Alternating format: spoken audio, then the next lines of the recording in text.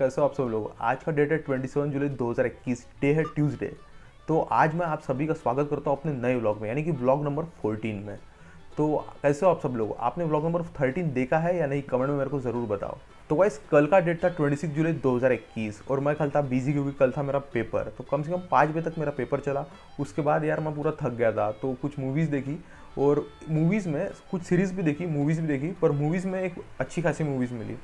तो उसके पहले, वो मूवी के बारे में डिस्कशन करने के पहले यार, आज का जो क्लाइमेट है, वो बता देता हूँ। क्लाइमेट में बाजू में है, इस साइड में विंडो तो बारिश चल रही है, बाहर धीमी धीमी बारिश चल रही है, पर, चल रही है। तो हमारी इलेक्ट्रिसिटी शायद से आ जाएगी, पता नहीं कब आएगी। तो और लेफ़्ट हैंड पे है इन्वर्टर पे चलने वाला लाइट और जो आवाज़ आ रही होगी ज़्यादा, वो है अपने बारिश की। तो बारिश बढ़ रही है धीमी धीमी बोलते बोलते अभी बढ़ते बढ़ते जा रही है। तो चलिए आपको बारिश भी एक बार दिखा देता हूँ।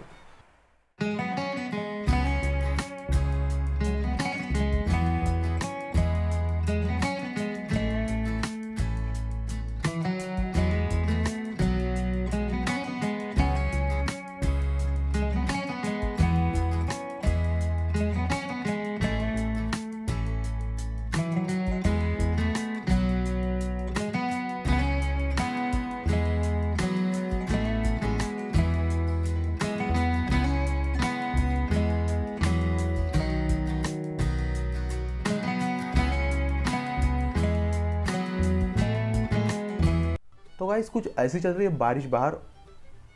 तो गाइस कुछ ऐसी चल रही है बारिश बाहर और मैं बैठा हूँ जस्ट खिड़की के बाजू में, यहाँ पे अपने चेयर पे। तो यार, जैसे कि अपन बात करते हैं उस मूवी की, जिसमें एक ट्रेन रहती है। उस ट्रेन में कुछ पैसेंजर्स रहते हैं। उस पैसेंजर पे कुछ क्रिएचर्स रहते हैं, वो हमला करते हैं। तो उसी मूवी की कुछ स्टोरी आपको समरी फॉर्मेट में बताऊँगा यार। लगभग दो या तीन मिनट में खत्म हो जाएगी तो ज़रा गौर से सुनिए। और अगर आपको मूवी स्टोरी अच्छी लगी तो मूवी ज़रूर देखिएगा। तो स्टोरी कदर शुरू होती है कि कुछ यात्री ट्रेन में बैठे होते हैं। ट्रेन एक जंगल से गुजर रही होती है। तभी ट्रेन से एक हिरण टकराता है और ट्रेन रुक जाती है। ट्रेन का ड्राइवर ट्रेन से उतरता है और हिरण की लाश को ट्रेन के नीचे से निकाल देता है और तभी उसके ऊपर एक रास्ते में जीव हमला कर देता है। फिर जब काफ़ी देर तक ड्राइवर नहीं लौटता, तब बाकी यात्री यह फैसला करते हैं कि वो ट्रेन से उतरकर पैदल ही स्टेशन तक जाएँगे।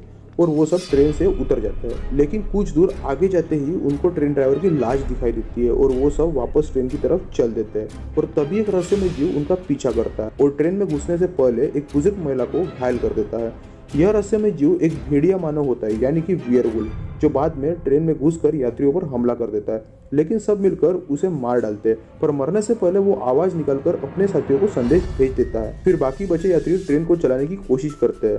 तभी उन पर दूसरे वीरवुल्फ हमला कर देते हैं। और इसी बीच जो बुज़ुर्ग महिला भेड़िया का शिकार बनी हुई होती है, वो वीरवुल्फ बन जाती है और अपने पति को मार डालती है। काफ़ी संघर्ष के बाद फ़िल्म का हीरो भेड़िया मानव को रोकने के लिए रुक जाता है और हीरोइन को बचकर भागने का मौका दे देता है। फ़िल्म में एक विलन भी होता है, जो सिर्फ़ अपने स्वार्थ के बारे में ही सोचता है। वो भी बचकर जंगल में पहुँच जाता है, जहाँ हीरो अभी वियरवुल्फ बन चुका होता है और वह उस विलन को मार डालता है। यानी कि शिकार करता है उसका अब इस ट्रेन की इकलौती ज़िंदा सवारी, वो हीरोइन सुरक्षित स्टेशन तक पहुँच जाती है और फ़िल्म समाप्त हो जाती है। तो यार, कुछ ऐसी थी फ़िल्म मेरे को काफ़ी अच्छी लगी। इस, इसकी समरी मैंने लगभग दो या तीन मिनट में आपको समझाई होगी। तो यार समरी कैसी लगी, मेरे को कमेंट में ज़रूर बताना। सो so गाइस कैसे लगे आपको ये फ़िल्म की स्टोरी इस फ़िल्म का नाम है एच ओ डब्ल्यू हाउल ये रिलीज़ हुई थी 2015 में और इसको रिलीज़ करने वाले डायरेक्टर का नाम था पॉल हयात तो गाइज़ जो भी लोग हॉरर मूवी के शौकीन है तो उनके लिए तो काफ़ी अच्छी मूवी है यार। सबसे बेस्ट मूवी मैं मानता हूँ। और उस 2015 के वक्त में ये सबसे अच्छी मूवी थी। तो यार, एक सेमी लेवल पे हॉरर भी है और बहुत अच्छा मज़ा भी है एडवेंचरस भी है थोड़ी सी एडवेंचरस नहीं, पर पूरे ट्रेन में तो अच्छा खासा हॉरर है। तो ज़रूर देखिएगा ये फ़िल्म सो गाइज़ आज का ब्लॉग यहीं पे ख़त्म करते हैं, क्योंकि कल है मेरे एग्ज़ाम और मेरे को करना है उसका प्रिपरेशन अब बज रहे लगभग तीन, लगभग अपना एक से आधा घंटा चला गया है ब्लॉग में। और कुछ खाना वाना भी खा लिया कुछ नाश्ता वास्ता भी कर लिया। अभी मैं वापस अपनी पढ़ाई के लिए लगता हूँ और लाइट भी अब तक आने की है। देखते हैं लाइट की राह कब तक आएगी। लैपटॉप तो फ़िलहाल डिस्चार्ज है मोबाइल में जो भी डॉक्यूमेंट है वो पढ़ लेता हूँ।